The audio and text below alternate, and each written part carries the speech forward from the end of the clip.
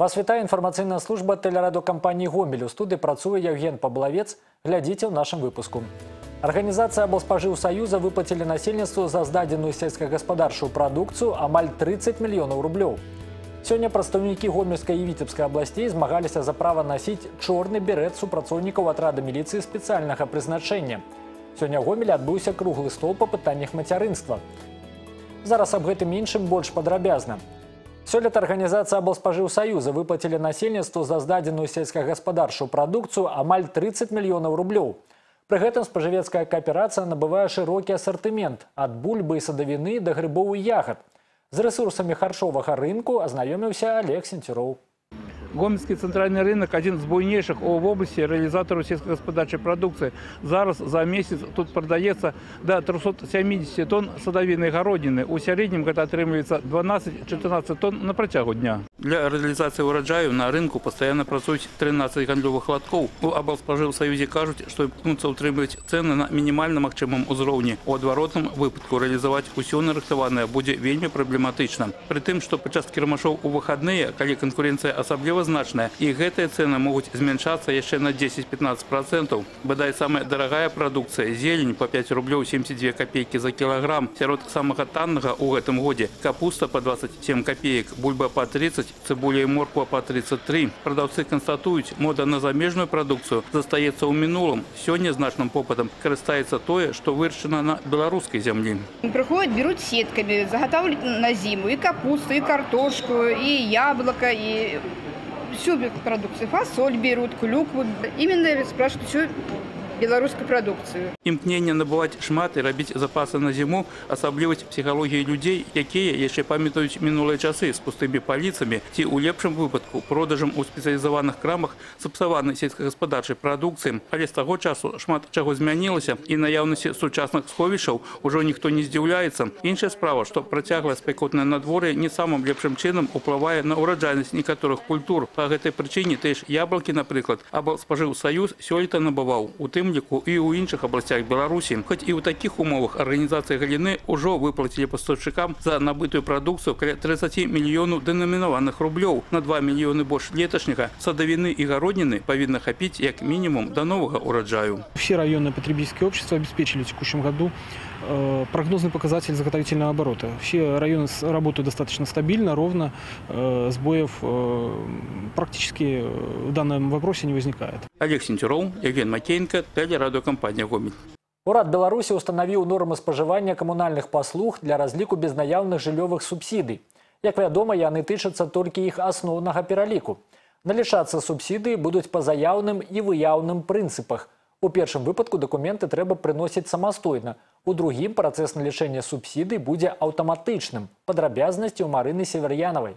Нягледзячы на тое, што указа аб прадастаўленні безнаяўных жыллёвых субсідый пачаў дзейнічаць з першага кастрычніка, пытанняў застаецца шмат не толькі ў насельніцтва, але і ў саміх работнікаў жыллёва-камунальнай гаспадаркі. Бо новаўвядзенне трэба спачатку, як кажуць, праверыць на практыцы. Пакуль жа спецыялісты каменціруюць чарговыя ўдакладненні. Так, на днях урад вызначыў нормы спажывання камунальных паслуг для разліку безнаяўных жыллёвых субсідый. Што тычыцца расходу вады, то тут нічога не змянілася. 140 літраў на чалавека ў суткі. Па тэхабслугоўванні таксама. Гэта 20 квадратных метраў на кожнага зарэгістраванага, плюс 10 квадратаў на сям'ю. Для пенсіянераў і інвалідаў субсідыя налічаецца на ўсю плошчу кватэры. Если у нас по техническому обслуживанию и ранее применялся норматив 20 квадратных метров, то по капитальному ремонту таких нормативов у нас не было.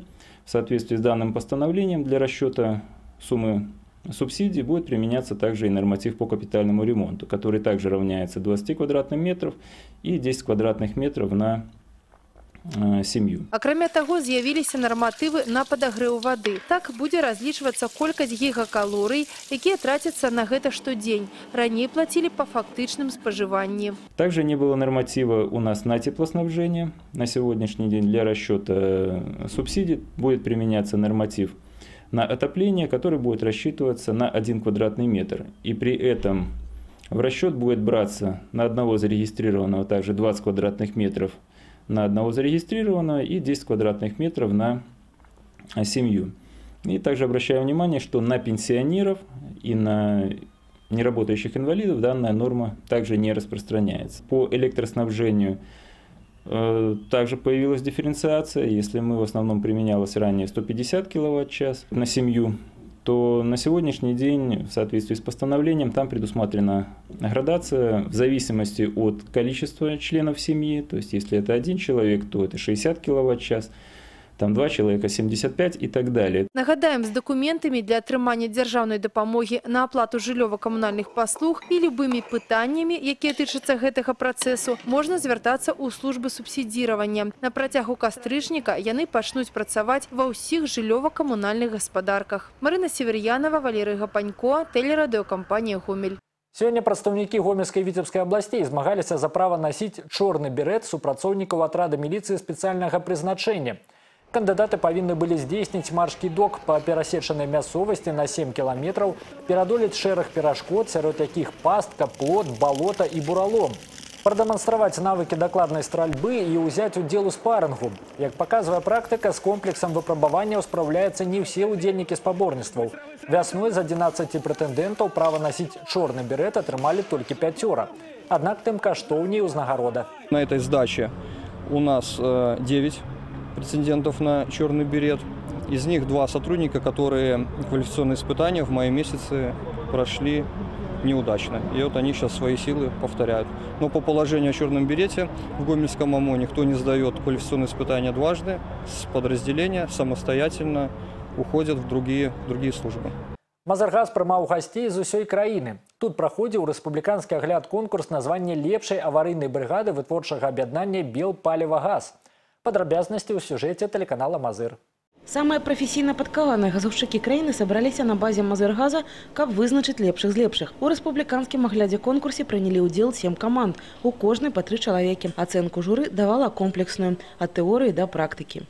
В рамках э, конкурса проходит проверка теоретических и практических навыков работы специализированных подразделений, аварийных служб, газоснабжающих организаций, а также комплектация а, специализированных автомобилей э, материалами, оборудованием, приспособлениями для локализации и ликвидации аварий на объектах газораспределительной системы. Важность постоянной боеготовности аварийных службаў пытанне далёка не апошняе, бо менавіта ад гэтых людзей у экстранных сітуацыях часцяком залежыць чалавечае жыццё. Маштабны агляд конкурс гэта свайго рода прафесійны экзамен для кожнага філіяла бел паліва газа. Получаю такую технические навыки и учебу, которая применима на практике, и они уже в последующем готовы к любым э, значит, задачам для локализации, ликвидации аварий. Плюс происходит э, общение между собой, обмениваются опытом, показывают знания. У 2017 прафесійныя спаборніцтвы будуць праводзіцца ў віцебскай вобласці. Прадстаўнікі гэтага рэгіёну аказаліся на першым месцы. Добрыя паказчыкі па выніках конкурсу і ў Мазаран. Яны занялі другое месца. Тройку лідараў замкнулі супрацоўнікі Магілёў Абулгаза. Кацярына Юрченко, Святлана Грудько, Вячеслав Прапіснаў, тэлеканал Мазыр спецыяльна для тэлерадыёкампаніі Гомель. Зараз на гомельшчыне праходзіць абласная прафілактычная акцыя няхай заўсёды будзе мама, прымеркаваная да рэспубліканскага дня маці, які штогод азначаецца 14 кастрычніка. Сёння ў гомельскім абласным цэнтры гігіены, эпідэміялогіі і грамадскага здароўя адбыўся круглы стол па пытаннях мацярынства. На ім абмяркоўваліся такія важныя аспекты, як захаванне сямейных каштоўнасцяў і павышэнне рэпрадуктыўнага здароўя жанчыны, а таксама папярэдняя псіхалагічная і фізічная падрыхтоўка будучых бацькоў да планавання дзіцяці.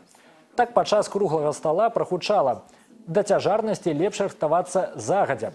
Па-першае, абодвум бацькам трэба адмовіцца ад шкодных звычак. Па-другое, прыкладна за тры месяцы да планавання дзіцяці неабходна звярнуцца да ўрача, які прызначыць абследаванне. Варта азначыць, да гэта бадай самай важнай у жыцці кожнага чалавека падзеі нараджэння немаўля добра падрыхтаваць сябе яшчэ і маральна, калі неабходна звярнуцца за дапамогай псіхолагаў.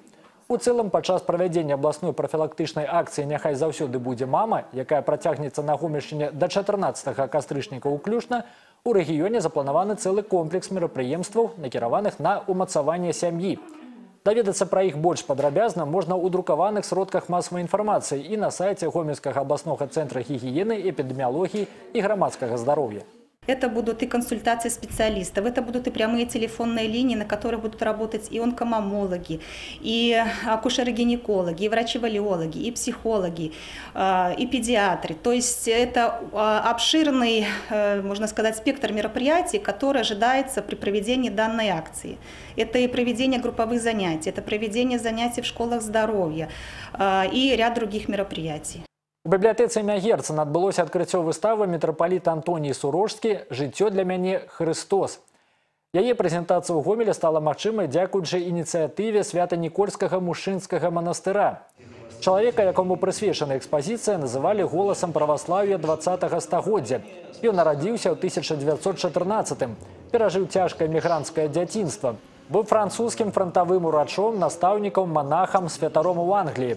У 1961 змог вярнуцца ў СССР у якасці епіскапа. Стаў вядомы ва ўсім свеце як выдатны пастыр-прапаведнік. Над гэтым біяграфічным праектам працавалі багасловы, гісторыкі і студэнты з рассіі, Беларусі, Украіны і Італіі. Упершыню выставу прадставілі на адным з найбуйнейшых еўрапейскіх фестываляў у італьянскім горадзе Рымені. Были созданы группы в Москве, в Минске, в Киеве, в Харькове, в Милане, студенческие группы, которые работали на этой выставкой. Работа длилась год, был отдельный семинар в Италии. А, действительно работали самые лучшие дизайнеры. И, может быть, эта выставка как раз интересна не только содержанием, но и тем, как она родилась, потому что, может быть, для выставки очень необычно то, что сейчас предложена такая карта путешествий. Свое падарожжа па Беларусі выстава пачала з мінска, затым была даставлена ў Гродна. Зараз знаходзіцца ў гомелі і тут прабудзе два тыдні. Далей адправіцца ў Грузію. Такое ж падарожжа чакае праект ва ўкраіне, Сібіры і Казахстане. У планах таксама прадставіць яго ў Францыі і Англіі. 13 кастрычніка на тэлеканале ТРО Саюз у рамках спецыяльнага праекта дні рэгіёнаў пройдзе дзень гомельскай вобласці. У эфіры можна будзе ўбачыць інфармацыйныя, аналітычныя, забаўляльныя, пазнавальныя і мастацкія праграмы вытворчасці ТРК Гомель. ТРО Саюз сёння ажыццяўляе штотыднёвае вяшанне. Яго патэнцыяльнымі гледачамі з'яўляецца больш за 60 мільёнаў жыхароў рассіі, Беларусі і іншых краін СНД. Напярэдадні правядзення дня гомельскай вобласці на тэлеканале карэспандэнты ў мінску і Маскве пацікавіліся, што ведаюць сталічныя жыхары пра наш абласны цэнтр.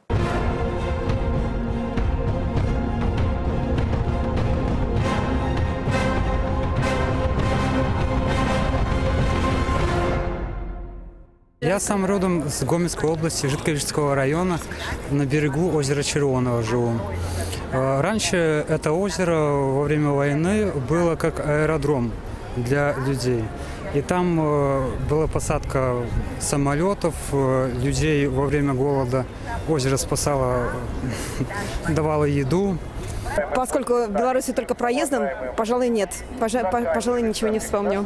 Чистота на обочинах дорог, чистота в городе, да, и очень хорошие вежливые, но непреклонные милиционеры. Да, это, это всегда хорошо. Значит, город Гомель – это второй город по численности населения Беларуси. А, на гербе города Гомеля изображена рысь красивая, ну и знаменитые конфеты фирмы «Спартак». Гомель – это очень красивый город. Мы были в прошлом году в нем. Исторически мне понравилась река, которая в нем очень классно. И типа теплее, чем в Минске. Ну, в Гомеле единственное, что я знаю, большой парковый ансамбль Румянцевых и Паскевичей.